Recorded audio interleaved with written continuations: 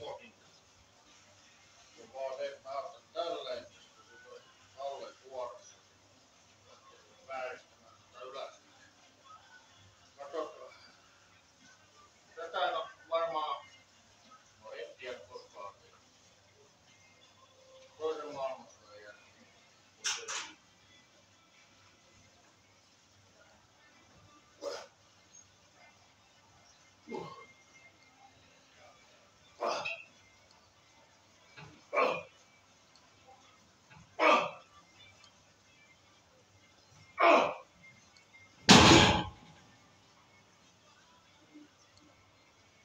Tää on liikaa tehdä naksahtaa taas toi lapalu niin kaksi viikkoa sitten.